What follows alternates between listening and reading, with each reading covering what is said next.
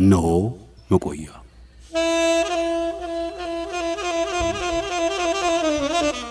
በመቆያችን እናቆያችሁ።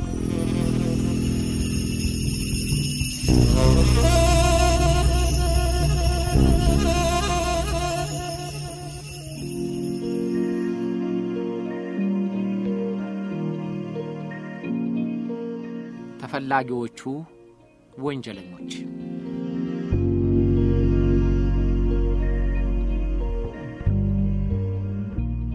ሁሉም ነገር ማብቂያ እንዳለው ሁሉ ጦርነትም ማብቂያ ቀን አለው።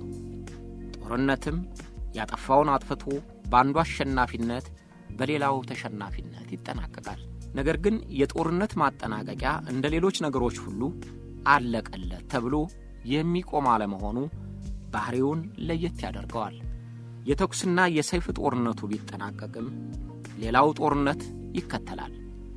ተጠያቂዎችን ለፍርድ የማቅረብ ጦርነት በሁለተኛ ምዕራፍነት ይከተለዋል። ጎን ለጎንም ጦርነት ያጠፋውን ለማልማት ሌላ ጦርነት ይጠብቃል። በዓለም ሕዝብ ዘንድ የሚታወቁት ጦርነቶች ተጠያቂዎችንና ወንጀለኞችን ለፍርድ ለማቅረብ መሥዋዕትነት የጠየቀ ትግል እንዳጋጠማቸው ተጽፏል። ሚሊዮኖችን በአሰቃቂ መንገድ የጨረሱት የናዚ ፓርቲ ሹማምንት በሙሉ ለፍርድ ለማቅረብ ዘለግ ያለ ጊዜ ፈጅቷል። በሩዋንዳ ጭፍጨፋ የተሳተፉ ገዳዮች እስካሁን ድረስ ለፍርድ ያልቀረቡት ወንጀለኞች በመፈለግ ላይ ናቸው። በሌሎችም ሀገሮች ተመሳሳይ ገጠመኞች ደርሰዋል።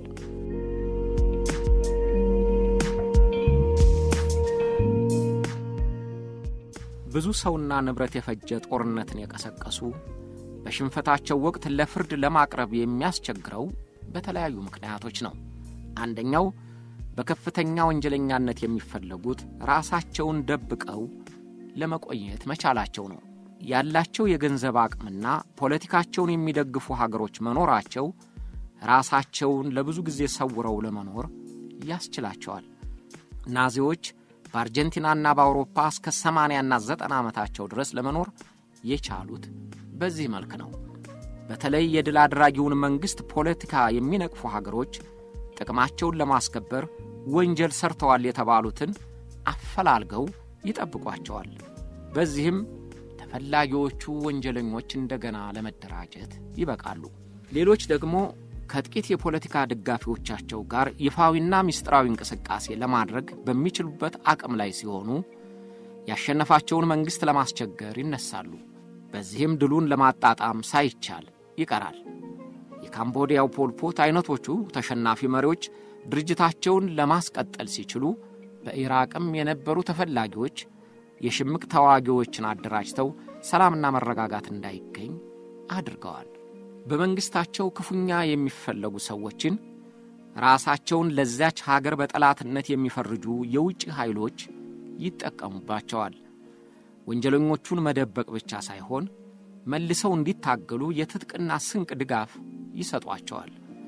ተመሳሳይ አቋም ያላቸውንም ስደተኞች ከየቦታው እየመለመሉ ተመልሰው ወደዚያች ሀገር ጥቃት እንዲፈጽሙ ያደርጓቸዋል።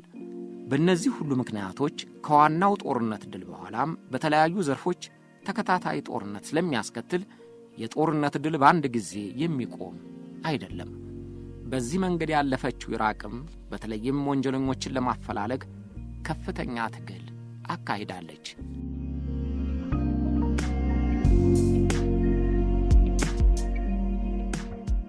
አሜሪካ መራሹ ጦር በ1996 ዓ ም በኢራቅ ላይ የከፈተውን ጦርነት በቶሎ አጠናቀቀ።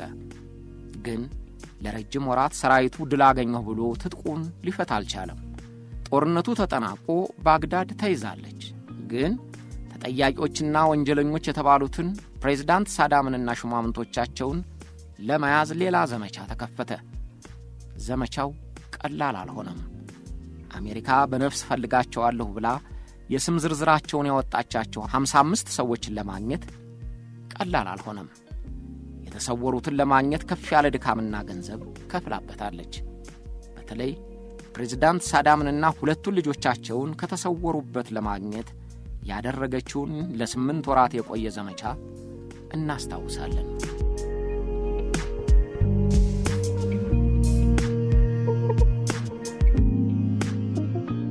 ፕሬዚዳንት ሳዳም ሁሴን የአሜሪካ ጦር ባግዳድን ለመቆጣጠር ሁለት ቀናት ሲቀረው ከባግዳድ 175 ኪሎ ሜትር ርቀት ላይ በሚገኘው የትውልድ ቀያቸው ቲከርት ውስጥ ታይተዋል። በቲከርት ደጋፊዎቻቸውን በተረጋጋ ቁመና በፈገግታ አነጋግረዋል። ሽጉጣቸውን ታጥቀው የቅጠልያ ዩኒፎርማቸውን ለብሰው ጥቁር ቆባቸውን ደፍተው በሕዝቡ መሃል ሲገኙ በጭብጨባና በመፈክር በሙገሳ ጭምር አቀባበል ተደረገላቸው።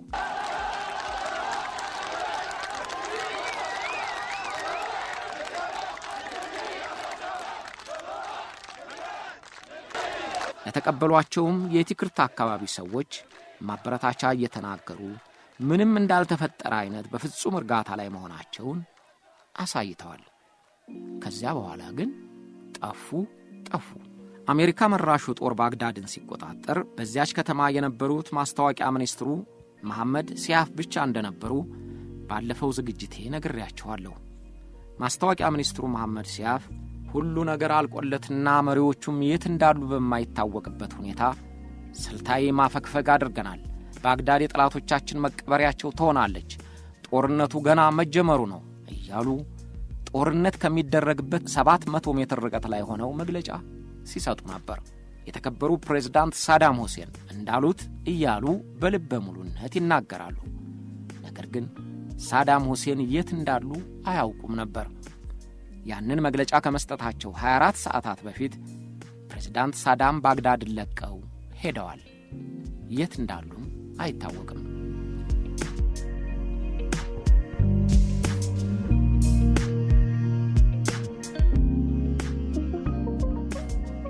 ከጦርነት በኋላ እጅግ አስከፊ ግፍ የፈጸሙ መሪዎችና ሹማምንት ብዙ ጊዜ እንደ በደላችን እንሙት አይሉም። እንዲያውም ለመዳን ያላቸው ጉጉት የፈጸሙትን ግፍ ያስገደሉትን ሰው ከአእምሮአቸው እንዲረሱ ያደርጋቸዋል።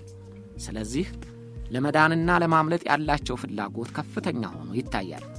ቤንቶ ሙሰሎኒን ታስታውሳላችሁ።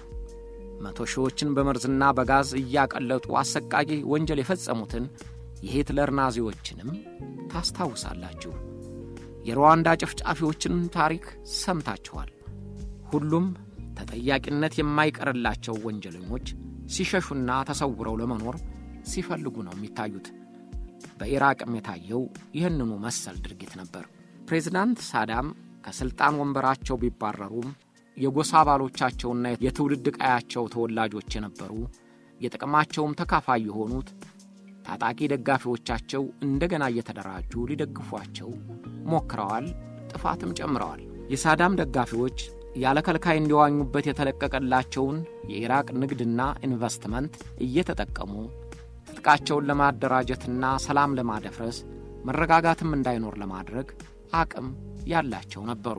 በሳዳም የሥልጣን ዘመን ሱኒዎች በተለይ የቲከርትና የሞሱል አካባቢ ተወላጆች በልዩ መልካም ዓይን የሚታዩ ነበሩ። የኢራቅ ኢንቨስትመንትና የንግድ መስክ ለእነሱ የተከፈተና እንዲበለጽጉ ለማድረግ ሆን ተብሎ ዕድል ተመቻችቶላቸዋል። የፕሬዝዳንቱ ታማኝና ዘመናዊ ትጥቅ የታጠቀው የሪፐብሊካኑ ጋርድ የተደራጀው በእነዚሁ ቡድኖች ነው። አብዛኛዎቹ ሚኒስትሮችና የጦር አዛዦች ፕሬዝዳንቱ ጋሻ መከታዎች በሚሏቸው ከእነዚያው የጎሳና የእምነት ተመሳሳዮቻቸው የተሞሉ ነበሩ። ፕሬዝዳንት ሳዳም ከሥልጣን ቢወርዱም የንግድና የገንዘብ አቅሙ በደጋፊዎቻቸው የተያዘ ስለነበረ አዲሱ የኢራቅ መንግሥት መንቀሳቀስ ተስኖታል። በሌላ በኩል ሌሎች ጎሳዎችና የእምነት ተከታዮች ኢራቃውያን እንኳንስ ለሥልጣን ሊበቁ ለመኖር እስኪያዳግታቸው ድረስ በደል ይፈጸምባቸዋል። በሀብትም እንዲደራጁ አይፈለግም። ኩርዶች፣ የሺያ እምነት ተከታዮች የመሳሰሉት የሳዳም ጡጫ ሲነርታቸው የኖሩ ዜጎች ናቸው። ከፕሬዝዳንት ሳዳም ሁሴን የሥልጣን መባረር ተከትሎ ቀድሞ የተሠራው ልዩነት በቀልን አስከትሎ ጎልቶ ወጣ።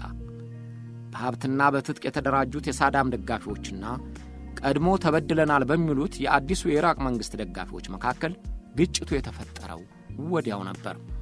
ስለዚህም አሜሪካ እፈልጋቸዋለሁ ካለቻቸው ፕሬዝዳንት ሳዳም ሁሴንን ጨምሮ 55 የሳዳም ባለሥልጣኖች አንደኛውንም ወዲያው ለመያዝ አልቻለችም። ከተፈላጊዎቹ የመጀመሪያ ረድፍ የተቆጠሩትን ፕሬዝዳንት ሳዳም ሁሴንና ልጆቻቸውን ኡዴይና ቁሴ ሳዳምን አየሁ የሚል ማግኘት አልተቻለም።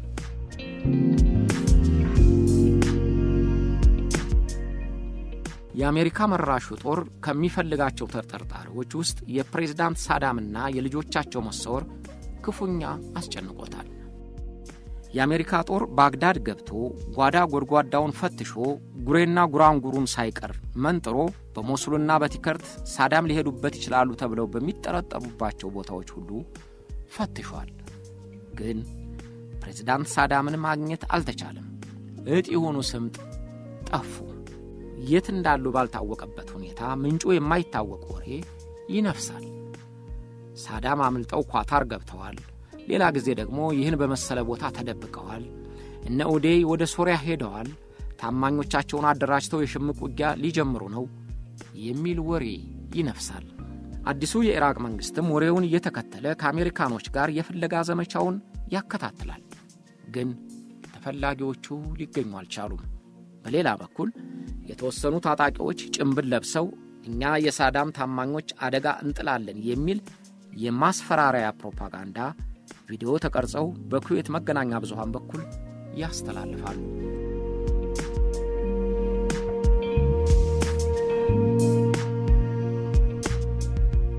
በሳዳምና በልጆቹ መሰወር የተጨነቁት አሜሪካኖች ያሉበትን ለሚጠቁማቸው አጓጊ የገንዘብ ሽልማት እንደሚሰጡ ይፋ አደረጉ። ኡዴይንና ቁሴን ሁሴንን ያሉበትን ለጠቆመ ለእያንዳንዳቸው 15 ሚሊዮን የአሜሪካን ዶላር፣ ፕሬዚዳንት ሳዳምን ለጠቆመ 30 የአሜሪካን ዶላር እከፍላለሁ አለ። ገንዘቡ አጓጊ ነበር። አሜሪካኖች ያንን አጓጊ ገንዘብ ለመክፈል መወሰናቸው ምን ያህል እንደጠቀማቸው በኋላ ላይ ታይቷል። ኡዴይና ቁሴይ ሳዳም የሳዳም ሁሴን ልጆች ናቸው። ያን ጊዜ የ39ና የ37 ዓመት ዕድሜ ነበራቸው። በአባታቸው የሥልጣን ዘመን ሁለቱም መልካም ስም አልነበራቸውም። በተለይ ኡዴይ በኢራቅ ሕዝብ ዘንድ ተጠልቶ የሚፈራ ነበር ይላሉ። የእግር ኳስ ፌዴሬሽን ኮሚቴ ሊቀመንበር በነበረበት ጊዜ የእግር ኳስ ተጫዋቾች ካላሸነፉ ያስገርፋቸው ወይም በላምበሮት ውስጥ ያሳስራቸው እንደነበረ በኋላ ራሳቸው የእግር ኳስ ተጫዋቾቹ ተናግረዋል። የአባቱን ታማኝ አጃቢ በመግደሉ ታስሮ በነበረበት ጊዜ በዮርዳኖሱ ንጉሥ ሁሴን አማላጅነት ነበር የተፈታው የሚሉ አሉ።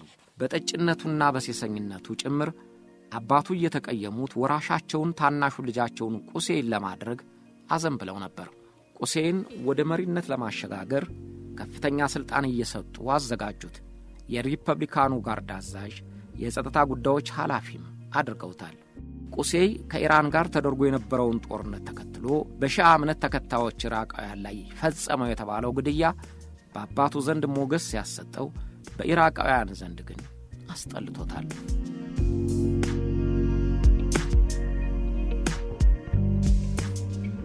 ወንድማማቾቹ የአባታቸው መንግሥት እንደወደቀ ክፋታቸውና በሕዝብ ላይ ያደረሱት በደል እየተዘከዘከ ወድቃችሁ ተነሱ የሚላቸው ጠፋ። ሁሉም ነገር ጊዜውን ጠብቆ የነበረው እንዳልነበር ያልነበረውም እንደነበር ይሆናልና አሳዳጆቹ የሳዳም ልጆች ተሰዳጅ ሆኑ። ሳዳምና ልጆቻቸው ሹማምንቶቻቸው ጭምር ኢራቅ የምትሸፍናቸው ሳትሆን የሚቅበዘበዙባት ሀገር ሆነችባቸው። በኋላ እንደተረጋገጠው እነ ኡዴይ ከአባታቸው ጋር እንኳን መገናኘት አልቻሉም ኖሯል። ሁሉም በየፊናቸው ሕይወታቸውን ለማትረፍ እግራቸው እንደወጣ ሮጠዋል።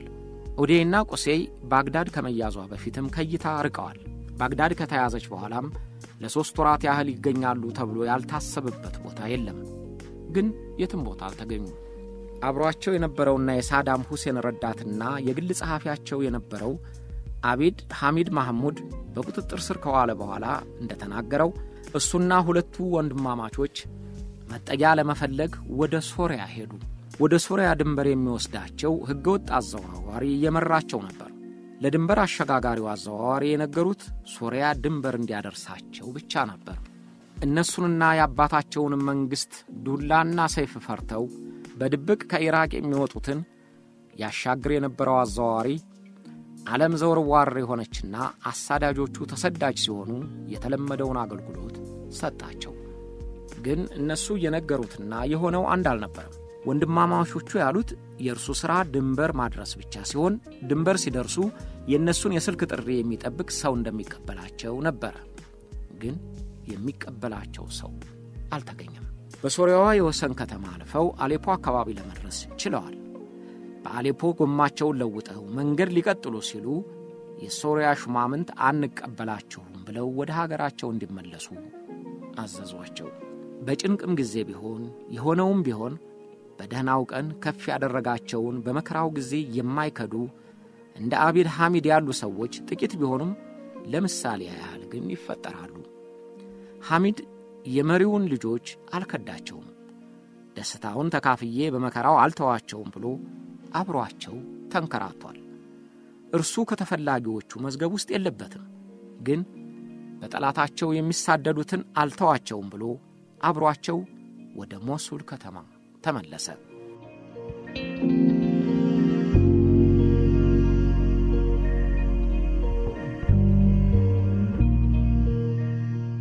ሞሱል እንደደረሱ በኒዋፍ አልዘይዳን ቤት ተቀመጡ።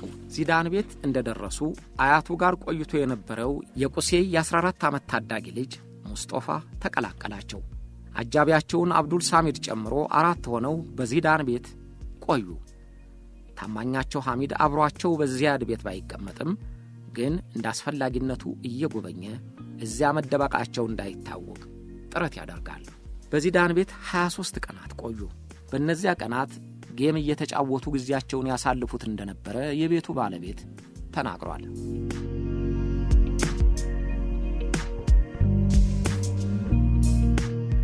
ሐምሌ 14 ቀን 1997 ዓ ም ዚዳን ከቤቱ ያስጠለላቸውን እነ ኡዴይን ትቶ ወደ ውጭ ወጣ። በአእምሮው 30 ሚሊዮን ዶላር በእጁ እንዳለ አሰበ። 30 ሚሊዮን ዶላር በማግኘትና መደበቁ ቢታወቅበት የሚደርስበትን ቅጣት መዘና። ታማኝነት ለምን በምንስ ምክንያት የሚለውንም ሳያስብበት አልቀረም። ከቤት እንደወጣ እንደ ወትሮው ወደ ሌላ ቦታ አልሄደም። በቀጥታ በሞሱል ሰሜን ምስራቅ ወደ ሰፈረው የአሜሪካ 101ኛው የአየር ወለድ ካምፕ ሄደ። እዚያም እንደደረሰ ለአየር ወለዱ የመረጃ ኃላፊ በእርሱ ቤት ውስጥ ሁለቱ ወንድማማቾች መኖራቸውን ነገራቸው። የዚዳንን ቃል የተቀበለው የአሜሪካ የአየር ወለድ የመረጃ መኮንን ዚዳን ስሜቱ በጣም ተረብሾ እንደነበር፣ ነገር ግን ስለ ወቅታዊ አቋማቸው፣ ስላሉበት ቤት፣ ስለ ባሕሪያቸው ጭምር ጥርት ያለ መረጃ እንደሰጠው ተናግሯል። የአየር ወለድ የመረጃ ክፍሉ መረጃዎቹን ቀድሞ ከደረሱት መረጃዎች ጋር አመጋግቦ ትክክለኛነቱን አመነበት። ስለዚህ ሁለት መቶ የሚሆኑ የአሜሪካ ወታደሮች ለግዳጅ ተንቀሳቀሱ። ሮኬት የጫነች ሄሊኮፕተርም ተከትላቸዋለች።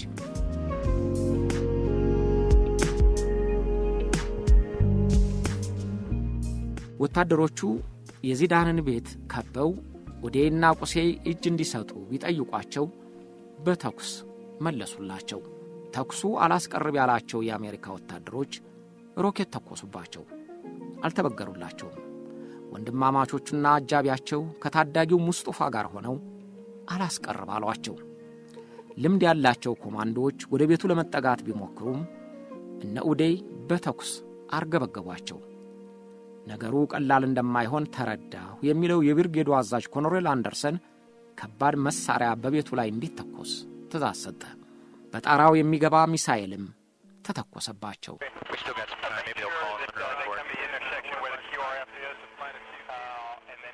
ያን ጊዜ ሁሉም ነገር ጭጭ አለ።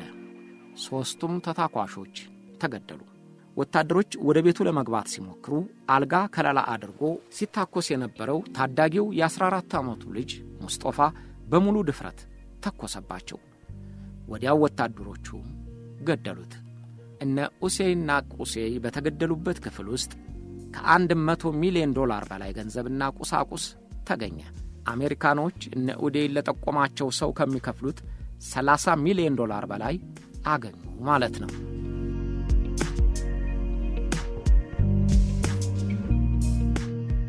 ፕሬዝዳንት ሳዳም ሁሴን በጻፉት ማስታወሻቸው የልጆቻቸውን መሞት እንደሰሙ ወዲያው የጠየቁት ለመሆኑ የሞቱት ተዋግተው ነው የሚል ነበር። አዎ የሚለውን መልስ እንደሰሙ መልካም፣ በእነሱ በእነሱ ሰማዕትነትና ለሀገራቸው በመዋጋታቸው እኔን ከፍ ያደረገኝ አምላክ የተመሰገነ ይሁን ማለታቸው ተዘግቧል። የራሳቸውን መጨረሻ ያላወቁት ተሳዳጁና ተፈላጊው ፕሬዝዳንት ሳዳም ሁሴን ከተደበቁበት ሆነው ስለ ልጆቻቸው አሟሟት ክብር እንደሚሰማቸው በቴፕ የተቀረጹትን ድምፅ በኩዌት ቴሌቪዥን በኩል እንዲሰማ አድርገዋል። ፕሬዝዳንት ሳዳም ሁሴን ከተያዙም በኋላ ቃላቸውን የተቀበለው ጆርጅ ፒሮ ስለ ልጆቹ ሳነሳበት አንዳችም የሐዘን ስሜት ስላላሳየኝ ተደንቄያለሁ ብሏል። እኮራባቸዋለሁ፣ ለሚያምኑበት ነገር ተዋግተው ሞተዋል አለኝ ይላል ጆርጅ ፒሮ። ሌላው ቃል ተቀባያቸው የሲአይኤ ተንታኝ ጆን ኒክሰን ሳዳም ከፍቅረኛቸው ሳሚራ አሊ የሚባል ወንድ ልጅ ወልደዋል የሚባለው እውነት ስለመሆኑ ጠይቋቸው ነበር እና አዎ ብልህ ኦዴና ቁሴን እንደገደላችሁት እሱንም ልትገድሉ ትፈልጋችሁ ነው አለኝ ይላል ኒክሰን በጻፈው ማስታወሻ። ኦዴይ ቁሴና ሙስጦፋ ተቀበሩ። አጀብ አይበዛበትም ግን ነግበኔ ባሉ ጥቂት ታማኞቻቸው ያለ ግርግር ለመቃብር በተዘጋጀ ቦታ አፈር አለበሷቸው። ኦዴይና ቁሴ ቢሞቱም ግን የሳዳምና የሌሎች ሹማምንቶች ደብዛ መጥፋት ለአዲሱ የኢራቅ መንግሥትና ለአሜሪካ የራስ ምታት የጎን ውጋት ሆነባቸው። የኋላ ያደረ ነገር ደግሞ ሌላ መዛዝ ማስከተሉ አይቀርም። ስለዚህ ተፈላጊዎቹና ወንጀለኞች ናቸው ያሏቸውን ቶሎ ወደ ሕግ የማቅረብ አስፈላጊነቱን አምነውበታል። ግን እንዴት? ሳዳም የት ነው ያሉት?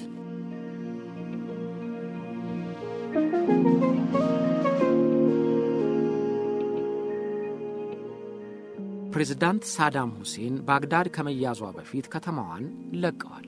የተበታተነው ጦራቸውና በተለይ የሳዳም ተዋጊዎች የሚባሉት ወጣቶች የታደሙበት ብርጌድ በተበታተነ መልኩም በከተማዋ የሽምቅ ጥቃት ጀምሯል። ሳዳም የት ሆነው እንደተቀረጹት የማይታወቅ ድምፃቸውም በድንገት በውጭ ሀገር የሬዲዮና የቴሌቪዥን ስርጭቶች መሰማቱን አላቋረጥም። አሜሪካ መራሹ ጦር እስኪታክተው ፍለጋዎችን አድርጓል። በቲከርት አካባቢ በደረሰው ጥቆማ ሳዳምን ለመያዝ ዐሥራ ሁለት ጊዜ ዘመቻ አድርጓል። ያሉበትን ያውቃሉ ብሎ የጠረጠራቸውን ሦስት መቶ ሰዎች መርምሯል። ግን አልቀናውም።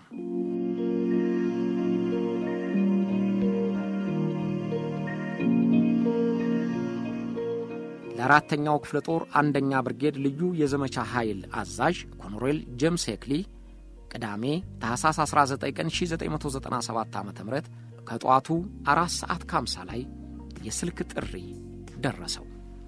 ሰውየውን ባግዳድ አግኝተነዋል ይላል የስልኩ መልእክት። ሰውየው የተባለው የሳዳም ሁሴን የቀድሞ ሹፌር እና ታማኝ አገልጋያቸው መሐመድ ኢብራሂም ዑመር መስሊት ነው።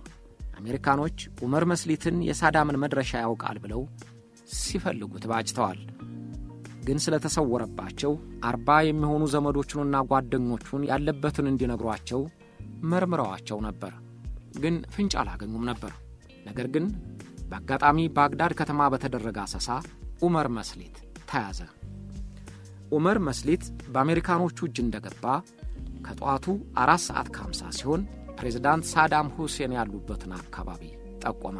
በኮሎኔል ሂክሊ የሚመሩና ከየክፍሉ የተውጣጡ ስድስት መቶ ኮማንዶዎች ሳዳም ይገኙበታል ወደ ተባለው ቦታ ተንቀሳቀሱ። በሙሉ የጦር ድርጅት ከሄሊኮፕተር እገዛ ጋር ነበር ወደ አካባቢው የዘመቱት።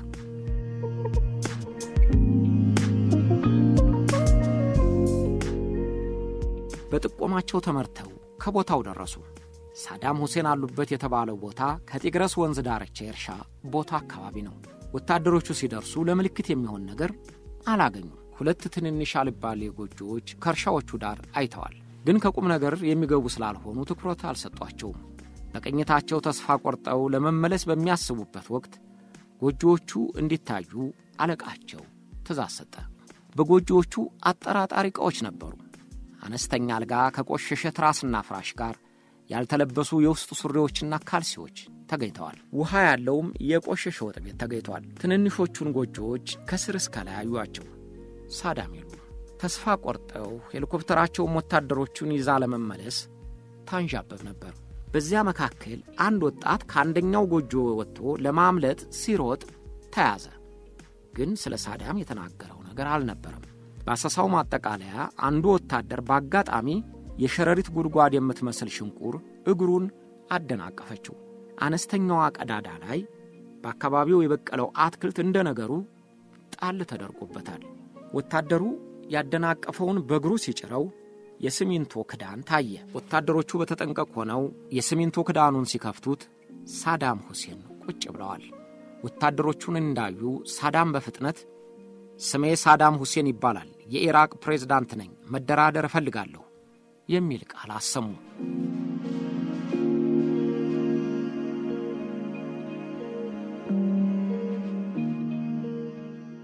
በኋላ እንደታወቀው ሳዳም ተደብቀው የሚኖሩት በእነዚያ የገበሬ ጎጆዎች ውስጥ ነው። በአካባቢው የወታደር እንቅስቃሴ ሲታይ በዚያች ጉድጓድ ገብተው ይከደንባቸዋል። ስልክ የላቸውም። ከማንም ጋር አይገናኙም። የጎጆ ባለቤቶች ናቸው ተብለው የታመነባቸው ሁለቱ ሰዎች ብቻ ይጠብቋቸዋል። ቲከርት ከሚገኘው ያማረው ቤተ መንግሥታቸው ትይዩ የምትገኘው ጉድጓድ ስፋቷ ሁለት ሜትር ሲሆን ቁመቷ ሁለት ሜትር ተኩል ሳንቲሜትር ነው። ለመተኛት ያህል በቂ ስትሆን የአየር ማስገቢያም ተሰርቶላታል። መጸተኛዋ ሕይወት የዓለም መነጋገሪያ የሆኑትን ጉልበተኛውንና ሀብታሙን ሳዳምን ለመርገጥ ከሚያስፈራው ቤተ መንግሥታቸው አጠገብ ባለች የአይጥ ጉድጓድ ወሰነቻቸው።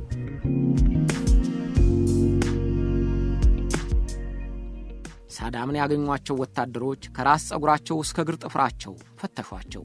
ላንቃቸውንና ምላሳቸውን መረመሯቸው። ጺማቸውን በረበሩት። አጠገባቸው 750 ሚሊዮን ዶላርና አንድ ክላንሽኮቭ ጠመንጃ ከነጥይቱና አንድ ሽጉጥ ከነጥይቱ ተገኝቷል። ግን አንዳችን መከላከል አላሳዩም። በሄሊኮፕተርና በታንክ የሚታገዝ ከአንድ ሻለቃ በላይ ልዩ ኃይል የታዘዘላቸው ሳዳም በቀላሉ እጃቸው ተይዞ ዕለቱኑ ወደ ባግዳድ ተወሰዱ። የሳዳምን ሹማምንት ከተደበቁበት አድኖ ለመያዝና ወደ ሕግ ለማቅረብ የሚደረገው ክትትል ለአሜሪካኖች አስቸጋሪ ሆነባቸው። ሳዳም ከስምንት ወራት በኋላ ሲያዙ እንኳን ከሃምሳ አምስቱ ተፈላጊዎች አስራ ሦስቱ ገና አልተያዙ ነበር።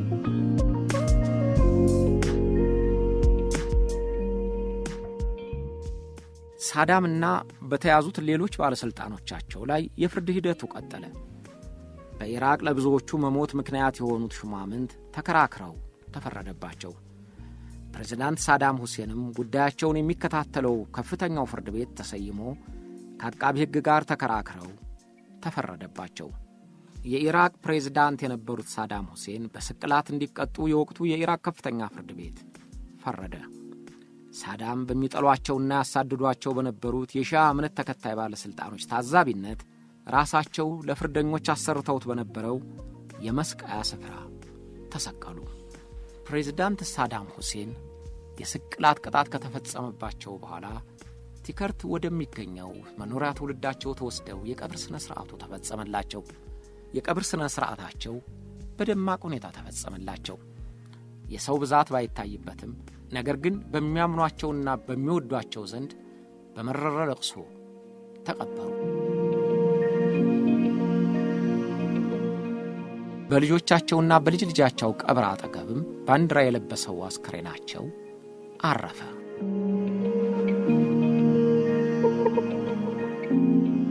በእስር በቆዩባቸው ሁለት ዓመቶችና በፍርዱ ሂደት ብዙ ታሪክ ታይቶበታል። ጊዜና አጋጣሚ በፈቀደልን ጊዜ የሳዳምን ችሎት አንድ ቀን እንጨዋወተው ይሆናል።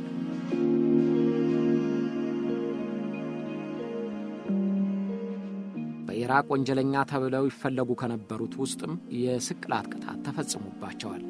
በኬሚካል ኩርዶችን ያስፈጀው ኬሚካል አሊን ጨምሮ የፕሬዝዳንቱ ጸሐፊና ምክትል ፕሬዝዳንቱ ጭምር 16 የሚሆኑ ተፈላጊዎች በስቅላት ተቀጥተዋል። እንደ መከላከያ ሚኒስትሩ አይነት ባለሥልጣኖች ቅጣቱ ከመፈጸሙ በፊት በተፈጥሮ ሕመም ሞተዋል። በጠቅላላ በስር ላይ ያሉና በስቅላት 28 የሚሆኑት የፕሬዝዳንት ሳዳም ባለሥልጣኖች ሞተዋል። ሰባቱ እስካሁንም እንደታሰሩ ሲሆኑ የሚሊሻና የክልል መሪዎች የነበሩት 16 የሚሆኑት ተለቀዋል። አራት የሚሆኑት ግን እንደ ጠፉ ቀርተዋል። ኢራቅ ተፈላጊዎቹን ወንጀለኞች ዓመት ድረስ አፈላልጋ ብትይዛቸውም ግን በእነርሱ ገንዘብ የተፈረጁ ቡድኖች የኢራቅን ሰላም እንደ ናጧት ቆይተዋል።